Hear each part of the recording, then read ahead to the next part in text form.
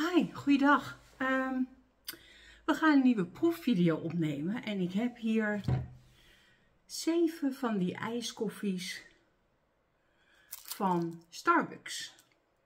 Starbucks was aangevraagd en uh, ja, nou wat ik al zeg, ik heb er een heleboel. Dus we gaan beginnen. Ik heb chocolate, hazelnut. Ik heb mijn bril even op, hè, dan kan ik het gelijk zien. Flavored cappuccino. Dat is deze. Dat wordt de eerste. Dan heb ik cappuccino, gewone cappuccino.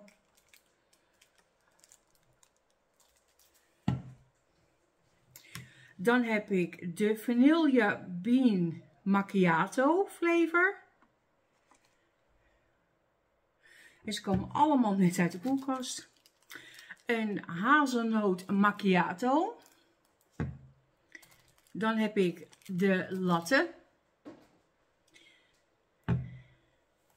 Dan heb ik de caramel macchiato. Die doen we voor de latte. Dan heb ik een beetje soort bij soort. Dus we beginnen met de cappuccino's, dan de macchiato's. En als laatste heb ik dan de latte en de café latte no sugar added. Oké. We beginnen met de Starbucks Chocolate Hazelnut Flavor Macchiato. Dit is een limited edition. En dit is chilled koffie, bold espresso, creamy milk, chocolate en hazelnoot flavor. Je krijgt er een rietje bij. Dan staat erop een milk drink with Starbucks Arabica koffie, fat reduced cacao en hazelnut flavor. High caffeine content.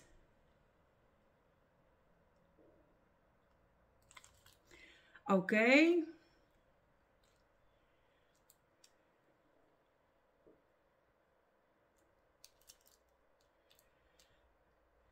Het is allemaal recyclebaar.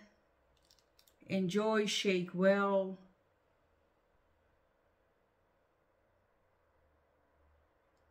Er zit zeezout in. Even lezen.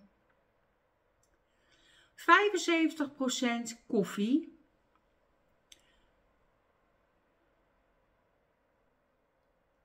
Oh nee, dat is vetmelk. 75% volle melk. Nee, 2%. Nou, er zit uh, eh, 4,7% suiker in. Shake well stond er. Maar er staat dan niet op. Um,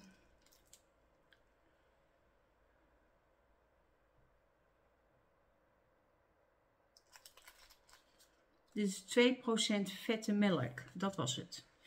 Uh, er staat dan niet op hoeveel gram suiker, zeg maar. Uh, we gaan al die rietjes gebruiken. Dit zijn kartonrietjes. Volgens mij wel met een plastic binnenkant. In de deksel zit een gaatje, hier zo. Dus dan prik je hem er zo doorheen. Oh ja. Nou, daar gaan we.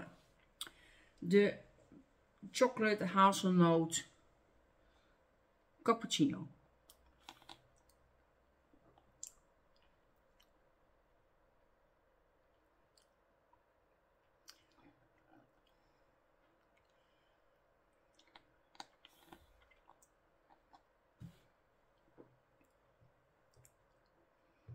Oké. Wat vindt u? Ik proef voornamelijk chocola.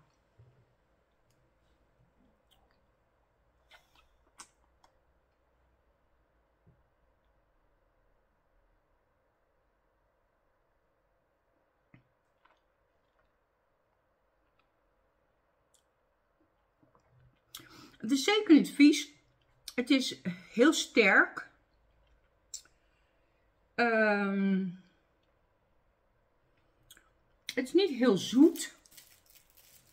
Maar het is voornamelijk chocola. Dus ze hadden het beter chocola flavored cappuccino moeten. Maar je hebt niet het idee. Je hebt het idee dat je. Hoe heet dat? Van die poederchocolademelk. Biscuit? Schiet me te binnen, maar ik weet niet wat het goede woord is.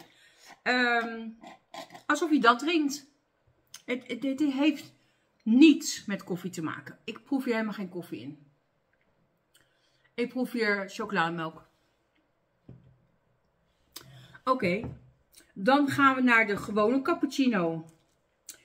Wat zegt het bekertje? Dat zegt chilled koffie, bold espresso, creamy milk, hints of cacao flavor. Dus ook iets met chocola. Terwijl dit gewoon cappuccino moet zijn. Een milk drink met Starbucks Arabica koffie en cacao. High caffeine content. Oh op 100 milliliter zit 38 milligram cafeïne.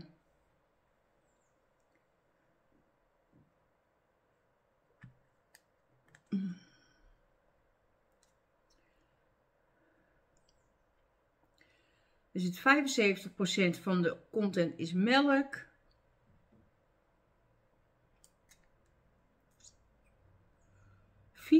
procent is suiker van de inhoud.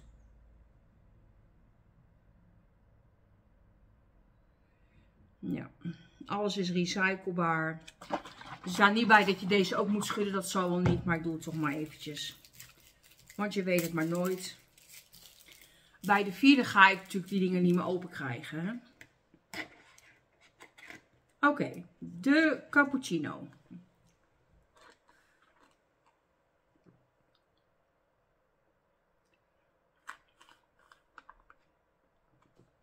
Ja, cappuccino. Zoet. Niet te. Maar ik voel gelijk echt hartkloppingen van alle cafeïne die je gelijk binnenkrijgt. Moet ik eerlijk zeggen, ik ben ontzettend dol op Starbucks. Maar ik drink thuis altijd decaf. Ik drink heel veel koffie. Ik ben echt een koffieliefhebber. En ook een Starbucks liefhebber. Sorry, maar ik drink thuis altijd decaf. Omdat ik soms wel 8, 9 koppen koffie op een dag kan drinken. Ja, maar dit is gewoon espresso of uh, cappuccino. Hier is, ja, cappuccino. Lekker. Ja. Gewoon cappuccino. Niks bijzonders aan, zeg maar. Gewoon cappuccino. Dan gaan we naar de vanille bean cappuccino. Nee, macchiato. En daarvan zegt het bold espresso, creamy milk, en hints of flavor, of vanille flavor.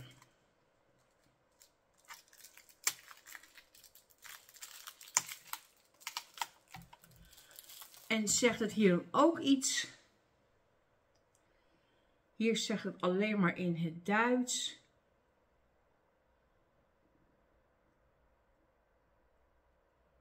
Tenminste houdbaar tot. Dit is allemaal in het Duits. Waarom?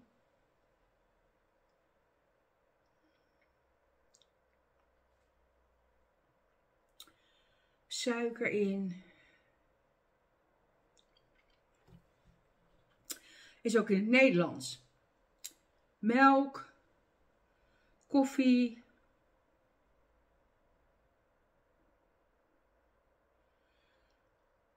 natuurlijk aroma, stabilisatoren, zuurregelaar.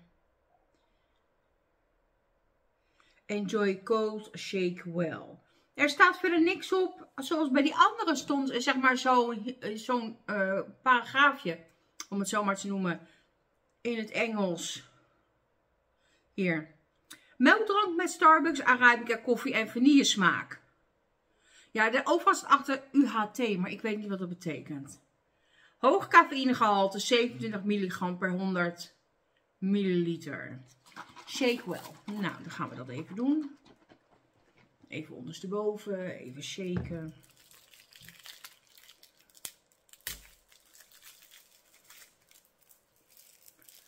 Die dingen plakken aan mijn handen vast.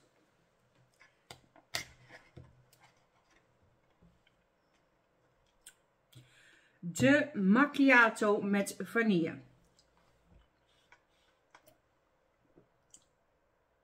Oh ja. Dit is echt, ja, lekker.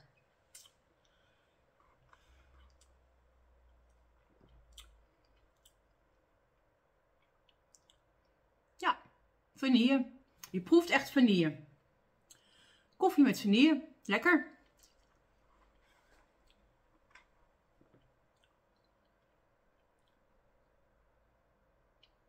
Daardoor is het wel zoet, maar niet te.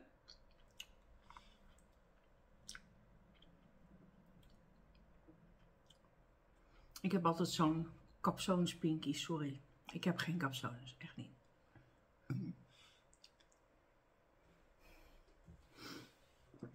Oké.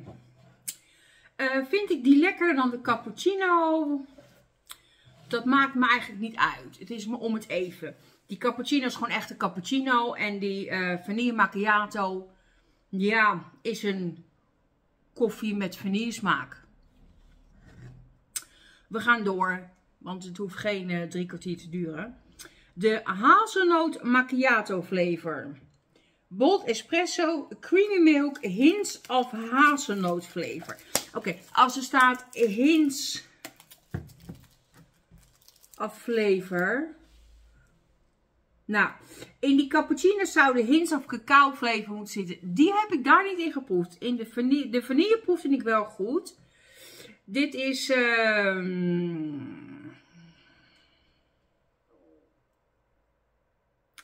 melkdrank met Starbucks Arabica koffie met hazelnootsmaak. Hoog cafeïnegehalte. Gekoeld bewaren. Oh, hier staan de voedingswaarden. Maar die stonden die hier dan ook op. Oh ja. En hier ook. Ja, oké. Ehm, hier zit... Uh, hoeveel zit er in dat dingetje? Hallo, hoeveel zit hier? 220 milliliter zit hierin. En in 100 milliliter zitten 61 calorieën.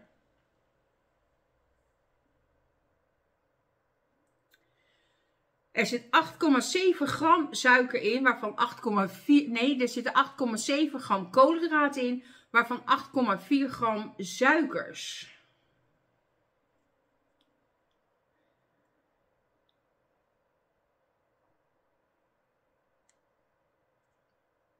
Shake wel.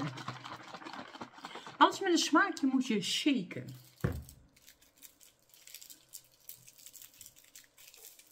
Oké, als jullie iets horen brommen, mijn kat ligt achter mij te slapen. De hazelnoot macchiato.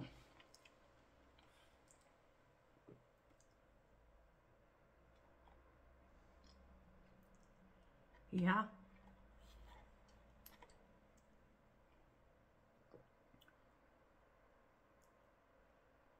Er zit een smaakje aan de koffie.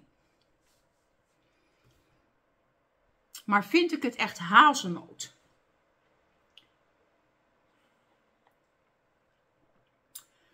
Het doet me een beetje chocoladerig aan. Maar niet heel puur. Vind ik het hazelnoot. Ik vind het niet echt, echt dat, dat het me gelijk hazelnoot doet denken. Wel lekker. Hmm.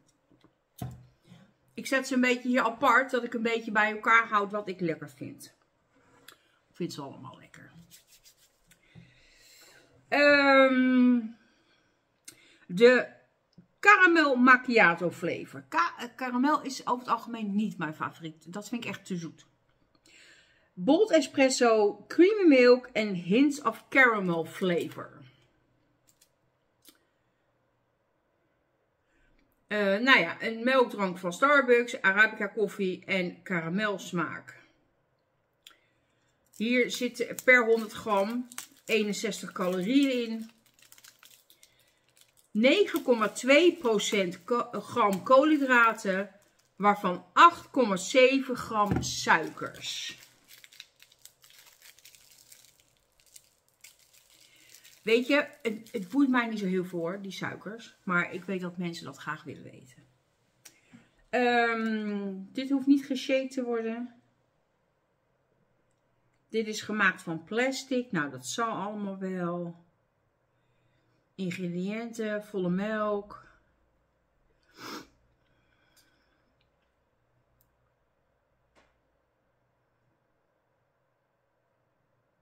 Shake wel. Dan shake alles zo met mij mee, weet je wel. Nou goed. Laat ik dat maar niet doen, want ik ben laatst gevallen. Dus ik heb een beetje spierpijn. De caramel macchiato. Oh ja. Ja. Wow. Caramel. Je proeft de koffie er wel doorheen. En dat vind ik overal. Behalve bij die uh, chocolade hazelnoot proefde ik helemaal geen koffie. Het was gewoon straight up chocomel. Maar hier proef je wel de koffie doorheen. Maar dan ehm, met karamel. Ja. Wow. Met, um, wow, karamel. Ja. Heel duidelijk te proeven. De enige die ik, die ik minder vond was die macchiato met hazelnoot. Ik, ik haal er niet echt hazelnoot uit. Maar dat kan heel goed aan mij liggen. Want een ander kan heel makkelijk zeggen. Oh, ik proef de hazelnoot gelijk niet. Je proeft een smaakje. Er zit een vlek op mijn bril. Je proeft een smaakje. Maar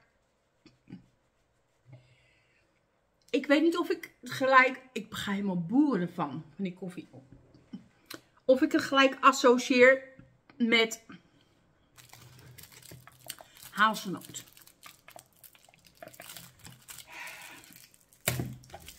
Weet je nog dat je vroeger ook al van die drinkpakjes had waarbij die rietjes zaten? Zo irritant. Goed. De latte macchiato. Nu komen we op mijn favoriete terrein. Bold espresso met creamy milk. Ja, hier zit wel de vetste melk in. De volste melk. 3,1% vet zit er in die melk. Wat zeggen ze erover? Gekoeld bewaren, shake wel. Een melkdrank met koffie en melk. Hoog cafeïnegehalte. Per 100 milliliter is, zit hier 70 calorieën in. Dit is de gewone café latte. En dan zitten 8,2 gram koolhydraten in, waarvan 8, nee, 8,7 gram koolhydraten, waarvan 8,2 gram suikers en 2,8 gram proteïne.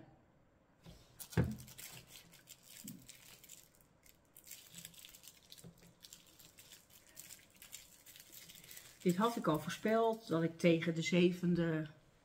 Dit waren trouwens alle smaken die bij mij Jumbo verkrijgbaar zijn. Ik weet dus niet of er nog meer smaken van zijn.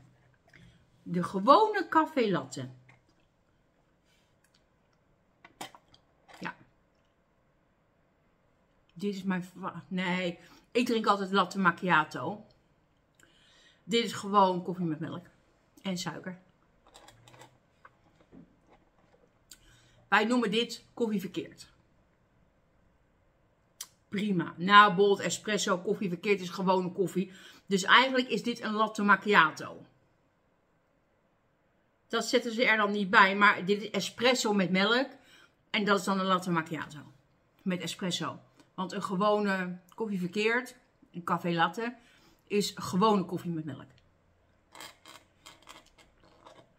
Voor zover ik weet, is het anders? Laat me weten.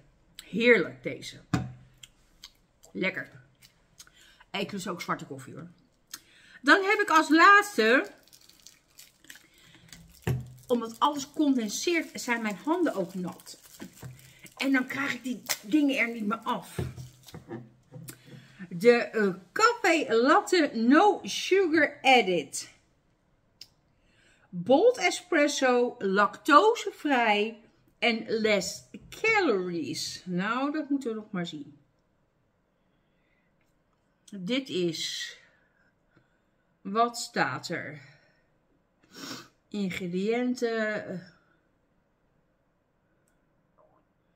Melk, 1,1% vet, dus hier zit wat halfvolle melk zeg maar in. Shake well.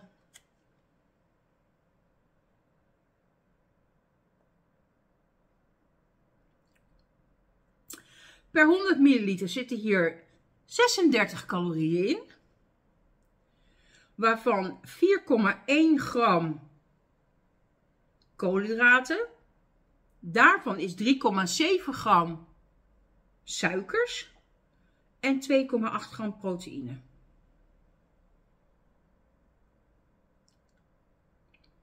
...0,9 gram zout. In deze zat er geen zout. Oh, hier is ook zout in. Overal zit zout in. Overal zit zout in. Oké, okay. shaken. Dit zou de gezondste optie moeten zijn, hè? maar dat is nog steeds 36 gram per 100 milliliter.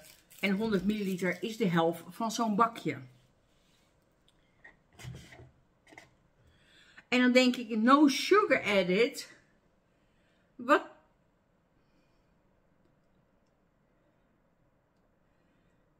ingredients.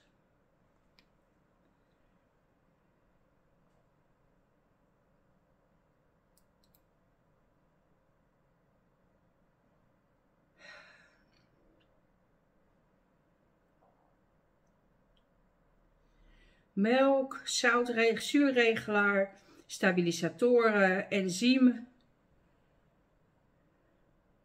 zoetstof.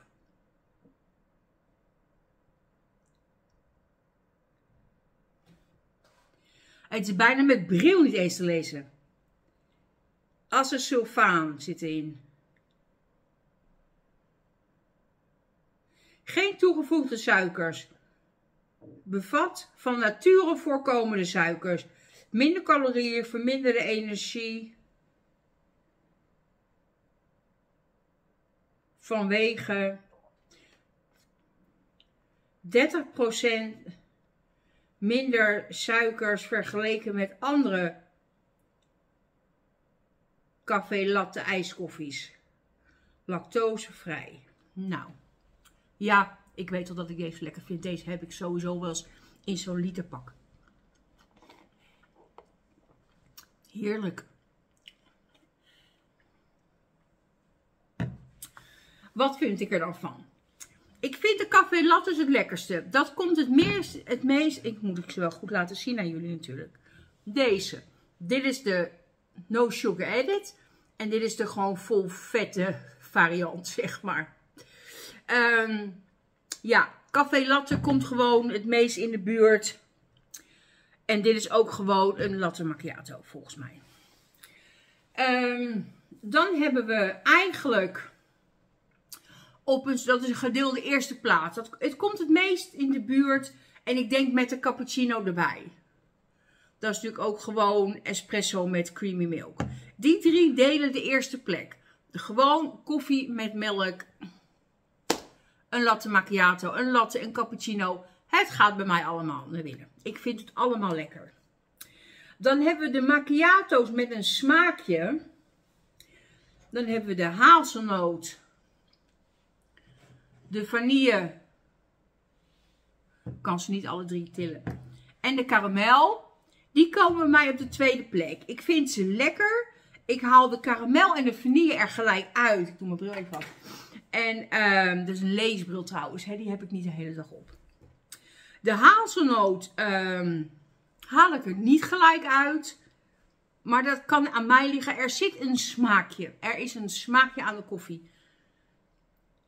Ik haal er meer een soort chocola-achtige smaak uit. Maar dat kan heel goed zijn dat dat de smaak is die hazelnoot geeft. Hè. Ik ben niet een hele grote notenfan. Ik, ik eet dat eigenlijk niet zo heel veel. Behalve als ik een stukje chocola of een in de vorm van uh, praline of... of um, ik gebruik het eigenlijk ook nooit in gewoon eten en zo. Ik ben gewoon niet een hele grote notenfan. Um, maar hij is zeker niet vies. Het is zeker echt goed drinkbaar. Uh, dus die macchiato's die komen op de tweede plek. En als laatste, als minst lekkere, vind ik toch wel de chocolate hazelnut flavored cappuccino. Ik vind het weinig te maken hebben met koffie. Ik vind het erg chocoladedrank. Nest, Nesquik. Zei ik net. Nesquik. Ik vind het heel erg Nesquik. Gewoon chocolademelk. Maar dan poedervorm, zeg maar. Chocolademelk. Um, nou, dat. Dus um, vind ik het de moeite waard, zeg maar, voor gemiddeld zo'n 2 euro per dingetje. Volgens mij. Kan ook 3 euro zijn. Volgens mij waren ze om en bij de 2 euro. Uh, ja, ik zou zo'n literpak kopen, maar die hebben ze niet in alle smaken. Die hebben ze eigenlijk volgens mij alleen maar van de latte en de cappuccino. En dan de, de zero sugar latte, of de no sugar edit latte. Um, weet je, als je een klein beetje vanille hebt, dan kan je dit heel makkelijk thuis ook maken. Hè? Zet een kopje koffie, gooi een druppel vanille in. Heb je vanille koffie? Eh, het is heel simpel. Dus vind ik het per se de moeite waard om het te kopen? Ik zou het niet per se kopen. Ik zou er gewoon één kopen als je denkt, oh die smaak lijkt me lekker ik probeer het een keer. Koop dan niet gelijk zo'n literpak, maar koop dan zo'n klein dingetje. Um, let je op de lijn, wat ik overigens niet doe. Um, doe het dan niet. Want zelfs in een no sugar edit zit gewoon heel veel suiker. Dit uh, 100 milliliter is van deze gewoon ook nog 34 calorieën. Dat is dus dik in de 70 calorieën voor dit om op te drinken. Hier zit 220 milliliter in. Dus nee, doe het dan gewoon niet. Maar eerlijk is eerlijk, het is allemaal goed drinkbaar. Zelfs die chocomel hoor. Het is geen vieze chocomel, die macchiato met chocolade en hazelnoot. Het is geen vieze chocomel, maar het is gewoon chocomel. Je, je haalt er helemaal niets qua koffie uit. Vind ik. Persoonlijke mening, hè? Vind jij iets anders? Laat het dan weten in de beschrijving. Dan ben ik uh, wel benieuwd naar jouw mening. Of wat ik dan zou moeten proeven. Waarbij ik wel uh, de kanttekening wil maken dat ik niet de allerbeste proever ben. En ik een hoop dingen niet proef die erin zouden moeten zitten. Of wel proef die er niet in zitten. Um, ik ben geen culinair wonder. Dus het kan best wel ook aan mijn smaak liggen. Maar dit is mijn ervaring met de Starbucks koffies. Volgende maand weer een ander onderwerp. Dan gaan we iets anders testen. Dan gaan we iets om te eten testen. Het lijkt net of ik alleen maar wil eten. Dat is niet zo. Maar ik heb nu cola gedaan, sinaas, Starbucks, allemaal drinken. Nou, misschien moet ik me wel gewoon toeleggen op drinken. Misschien moeten we wel thee doen. Ook interessant. Alleen, ik drink alleen maar hele slappe thee. Ik ga er even over nadenken. Dankjewel voor het kijken. Uh, fijne dag nog. En dan zie ik jullie graag bij de volgende. Doei!